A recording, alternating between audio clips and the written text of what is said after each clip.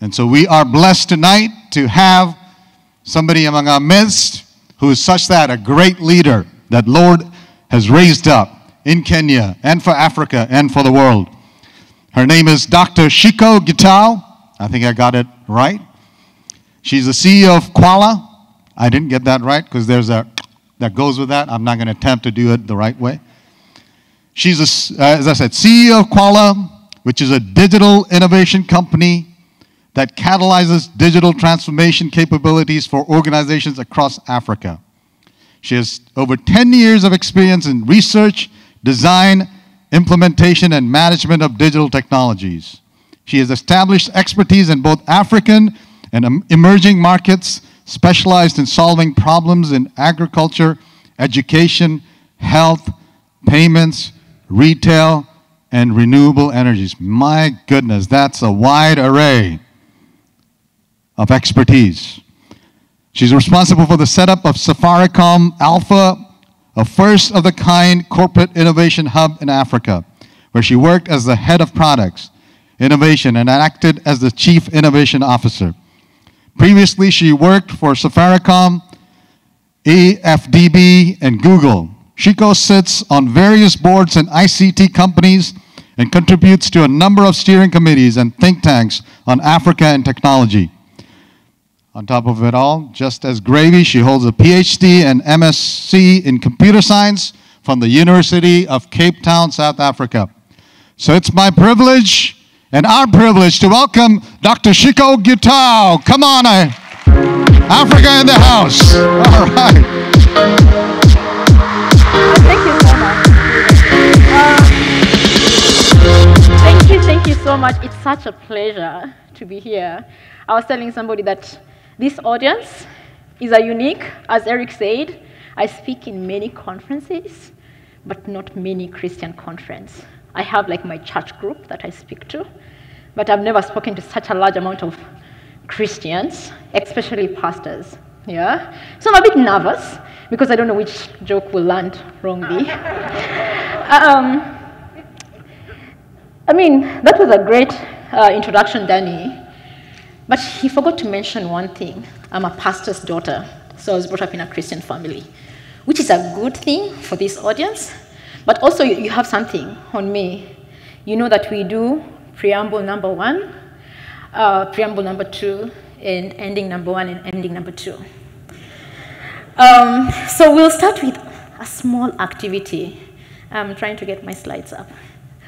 Um, I want you to go to this website, get to your phones.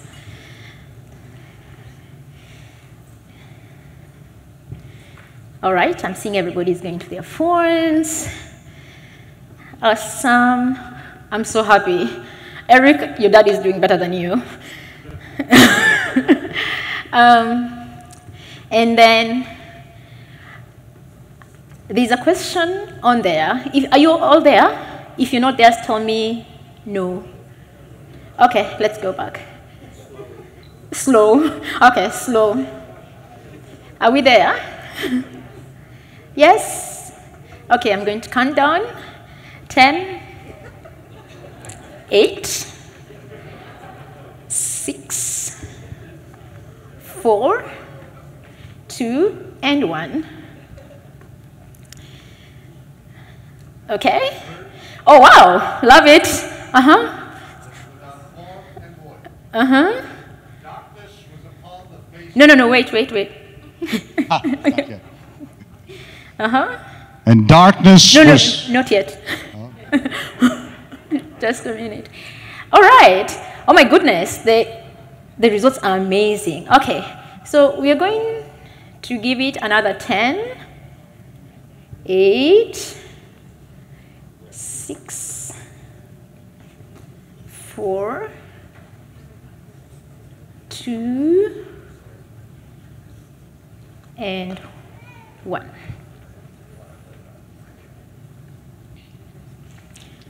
And the earth was without form and void, and darkness was upon the face of the deep.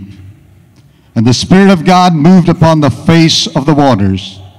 And God said, Let there be light. And there was light. How did that feel? but have you ever thought? I mean, we read the Bible every time. All of us do a Bible in a year. I'm assuming I'm the crowd that do Bible in a year. So, like on the 7th of January, you get to that point, and God said, Let there be light. Have you ever thought what happened before that moment? Ever thought about it? In my mind, I think of it as a board meeting. It's literally a board meeting. And the Spirit, because the Spirit is what we start with in, in Genesis 1, He's the innovator. So he goes, Hey guys, we need to have a quick meeting. I'm just from taking a walk. I have an idea. What if we made man in our own image Wait, what? and likeness? You, you mean like, like the angels? Yes, like the angels, but better. This one is really like us in both behavior and mannerism. All right, sounds interesting. I'm excited. You always have that board guy, right? The one who's always excited about new ideas, right? In your boards. Yes? Um, So where are they going to live? Here with us? Actually, no. I saw this place that is just perfect. How does it look? Um, well, at the moment, it is dark, void, and without form. But before you say anything, it holds a lot of potential. Okay, okay, okay. Can we finish one thought at a time? This man you talk about, say we go ahead and create him. What are the risks involved? Um, about that. Given that we are making him just like us, he'll have free will and all. He'll probably find out things like good and evil. He'll find the tree, the tree of life and go rogue on us. Are we sure we want to do this? The risks sound too much.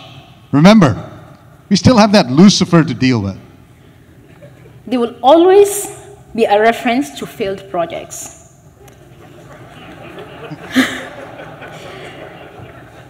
um, but consider this the returns are amazing, the worship will be amazing.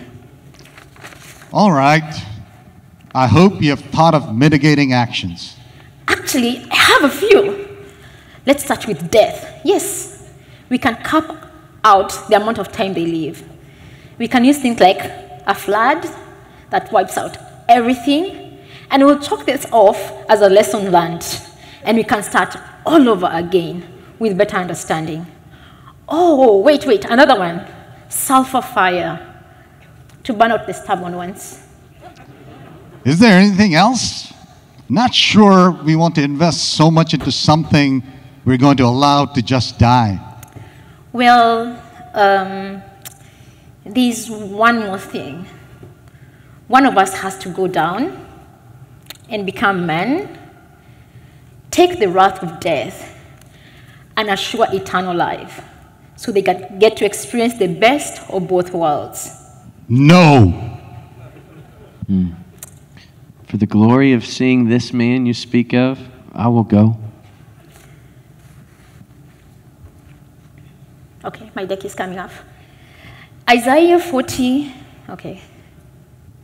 Uh, Isaiah, okay, my, one of my slides is not loading up.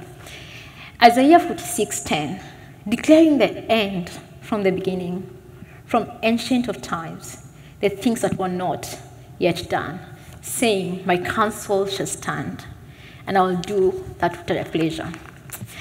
Good evening. I wanted, thank you. I wanted to bring that scene to us at the very beginning of this talk, because that is what we confront and will confront as we start the innovation journey. You will get the failed project, you will get the no from the, if you didn't get, that was the Father God who said, no, we're not doing this, we're investing too much. And of course, Jesus said, I'll go, it is worth it. So even at the beginning of the earth, they knew we were going to fail. The Bible says from the beginning of the earth, they knew we were going to fail. And as you start your innovation journey, you are going to fail, but it's all worth it to start. I'll talk to you about redemptive innovation, restoring God's plan through innovation. For, for those of you who have, see, who have seen my face, apart from the brochure and this time, you might have seen my face earlier in the year. I was talking to Michael, he was sitting somewhere here. Okay. Um, and I was telling him the way I read this Bible in a year pro program, I take it every year. And this year, particularly, I learned about God in a very specific way around innovation. And as we talk about this, I want to introduce to you, first of all, that innovation is God's idea. Yeah? The Holy Spirit is the key innovator. I mean, he, he came up with the idea of let's do this, and they did this. So, what is God's blueprint to innovation? We've already gone through Genesis 1, 1, 1, 2, and 1, 3. If you read all the way from Genesis 1 to 26, I mean 1, 1 to 26, the whole chapter, you understand what is God's idea to innovation. As you'll find out, I'm in the middle between Peter and Eric. Yes, I am a practitioner, but also I, I want to, preach today.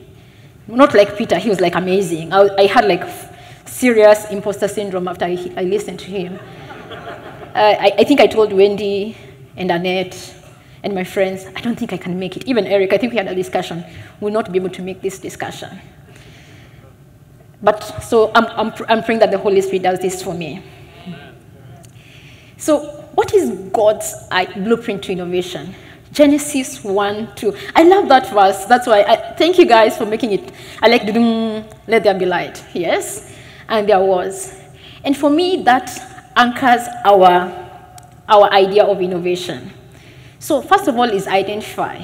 Many of you who are today, today there was a session on innovation and digital um, design thinking. You learned about this. Innovation starts with a blank. The Spirit of the Lord was on, void without form. Yeah? And then preparedness. I'll take two seconds on this one. In Genesis 1, you, you see that God spent 50% of his time in preparation. 50%. He prepared it because he knew what was at the end. It was man. The game plan was man. He needed to prepare land for him light, sky, and earth. Planning and organization is key to innovation. You have to plan, you have to think about it. And I think this morning somebody said, we spend so much time designing bridges, not the people who are going to live in them, to walk in them. And that's what we should be looking at. Prepare, prepare. And God showed us this framework. The next one is build, but don't build everything at the same time. This is called prototyping or incremental or agility. We call it applying agility to create something new in your mind first with your words, but also with your hands. Yeah, you think it first, you, you speak it out, and then you build it. And it's incremental. This is the same God the same God who said, Let there be light, and there was light, he'll have said, Oh, let there be everything, and everything will have shown up, right? But he, he, he took time, he started with vegetation, then seasons, day and night, sun and moon, birds, fish and land. And for the biologists in our midst, they will tell you this was a, actually a practical way of doing it. Yes? If if we say we had land animals before vegetation, what will have happened? They'll have died. Yes? Sun and moon, without vegetation, um, vegetation without sun and moon, love died. Seasons, they love died. So building incrementally, but adding value from, to, to the previous version of it. Yeah? So we can, I mean, in our world, we call it version one, version two. It's called versioning, right? So Earth version one was light. Yes? At, at version, let's call it version 111, was vegetation. with seasons, with all these things. So you have to, in your mission field, be able to say, I'm going to start with a very small part and build on it incrementally. Commercialize. And I just felt like a cold thing passed through here, because this is not something you like hearing in the mission field. We have to be able to add value and sustainability, but also we have to be able to make money, even in the mission field, even in where you are applying, because this is the only way to be sustainable. And it's a command be fruitful. Yes? Again, be fruitful. Twice in one chapter. Yeah? And here I'll, I'll go back to the, the story of the talent. Yes? Who was, who was most, um, who, was, who was the faithful servant? The one who brought back the 10 talents, right? Why does that, that not apply to us in the mission field? Why don't we scale and multiply? That is a command from the Bible. So commercialization is part of the calling that we have as innovators from Genesis 1 and we have to scale. I remember seeing Eric's uh, talk today and saying he's 2 million people using BRCK, 170,000 instances of Ushahidi. That is impact. Our impact on the earth will be felt by the scale of our growth. And it's also a command multiply and fill the earth and subdue it and get dominion over it stewardship. I think I read this verse too many times in a day or in a year. And so God created man in his own image and likeness. In the image of God, he created him, male and female.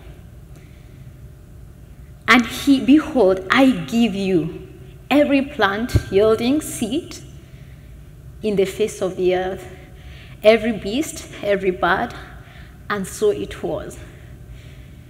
I always think about it if you're looking at the version 1, version 2, version 3 of Earth. At this point, we are at version 1 to 1, 1.26. We are going to version 2. And so God is saying from version 2, you're going to be co-creating with me. In fact, that verse, the last part, behold every bird, is in chapter 2 of Genesis. Yeah? You need to be able to know that God, everything that God did previously, the steward, the, the, the growing of an innovator is already in you. And then I'll touch the point that I think Peter and, um, and Eric touched about the fear of failure. You need to reflect. And you will fail. 100% guarantee you will fail in one way or the other. But you need to be able to retrospect and course correct. What we call pivot. So let us make man in our own image was version 1. And then, it is not good for man to be alone was version 2. Did you see? That God Himself sat with Himself and realized that we need to course correct. There's something that is not right. And that's what you do in innovation. It's not going to be perfect the first round, it's going to always need some course correction. And that time, you have to build it in in the process of building to be able to course correct. Yeah? Reflect, reflect, reflect. So that's my, if you're taking pictures, that's my summary slide. I'm going to give you 20 seconds. 10, 8, 6, 4, 2. Awesome. So I've, I've talked about that framework to innovation. So we have the perfect world and that not a perfect world. I was going to do another exercise, but we don't. I want to make sure that I get there. What are the most, when you think about it, what are the most pressing issues you're facing today? I've already shown you that God has a framework to innovation. What are the key things that are bothering our world today? Think about it. Climate change is the big one this year. Oh, and the pandemic, terrorism, poverty, education, just to name a few. Yeah? So, what, what is the role of the people in this room in handling this? We are going to missions, we're doing all these things. What more can we do? I'll, I'll give a statistic that I was, I, I was giving the table there. Think of this the beginning of time to January of 2020. In your head, write one. Then, January of 2020 to June of 2020, write three. That is the difference in amount of content that was created because of a pandemic. Think of it, how much of that content was Christian content? How much of it was consumed by people who did not know God? Because statistics showed that, we did, a, we did a study in Kenya and across Africa that showed that people moved towards God during the pandemic than any other time in history. It's a psychological thing that happens a lot. That when you're afraid, you turn to God, which is a, makes sense, makes mission easy, right? But are we taking advantage in solving this once the pandemic and everybody is vaccinated? We are here, a thousand of us. Are we going to forget the lessons that we learned? How can we take advantage of what happened last year to step change, changes in all these other areas that are affecting us as the world? So, what is redemptive innovation? And how did I come up with that word? So, I'm a pastor's kid, as I mentioned. So, the word redemption, redemptive, I've heard that from, from birth, right? But this year it became quite clear. I took a class on re- redemptive entrepreneurship. I wanted a business to, to practice redemption. And I learned a lot from that class about the idea of redemption. And there are many, many definitions. Most of you have taken Latin, I have not. And the idea of your identity being given to you back is very important. That was my understanding of redemption. Redemptive is that your identity being bought back. And that's what Jesus did to us. So, this, there are many definitions, and I found this redimere. I don't know the Latin speakers, I'm sorry, I just butchered that. And it means to get back, to buy back, to save. I found this very creative person who said redemptive is to creatively restore through sacrifice. How can we build innovations that are redemptive? Because that's our call as the body of Christ, and especially the people in this room. Our call is to lead in building these innovations. I've been in a number of classes today and workshops. I've said apart from your book, I've not seen anywhere else we've defined innovation during the conference. So I'm going to take a stab. I borrowed this from New Zealand because there are many definitions of innovation, because I liked what they said. It's the creation, development, and implementation of new products, processes, with the aim of improving efficiency, effectiveness, or competitive advantage. What is your competitive advantage as a missionary, as a person who loves Christ, as a redemptive person? If you think about it, so after days of thinking on that definition, identity innovation is the deliberate, because sacrifice is deliberate. You don't sacrifice when you've not thought it through, right? So it's deliberate application of ideas, knowledge, and technology. And I added technology because of this group and because I, what, what I've seen technology do to the gospel. Undertaken in the development of new processes, products, and services in an effort to combat inequality and injustice. If we are to leave this room, innovate 2021 with energy, and go and say we are going to build products that are going to combat inequalities and injustice, 90% of the war has been won. Because all the stuff that I've shown you, the issues, an outcome of inequalities and injustice. Technology is not working for me. Um, so, what are the key characteristics of redemptive innovation? it has to be relevant. Many of us, including myself, so it's not just you guys, we like gadgets, we build stuff, we brainstorm, we sat down and say, this is going to solve something. Is it contextually relevant to a problem? Are we solving something that is relevant? You have to always ask a question. That question. Is it feasible? Let's go back to the in the beginning. What are the questions that God asked? Where are they going to live? Yeah? What are the key risks? Do you have mitigation factors? Yeah? Are you able to ask yourself those questions? And you have answers to those questions? It's the feasibility part of it. Is it scalable? You'll see scalable a lot in this, this because this is something that is from the beginning. We have to be fruitful. Can you go beyond your current user base and location? And I'll come to examples of how this is going to work out. Is it sustainable? Can it survive and be profitable?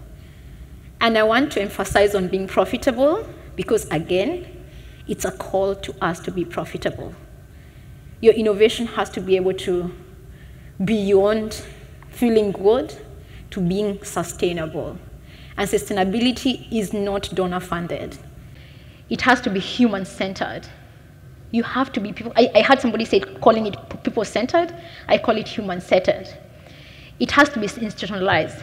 Don't build it for yourself and your own. Make sure that there's somebody else who is going to take it and run with it. Yeah, you've seen Eric is working with communities.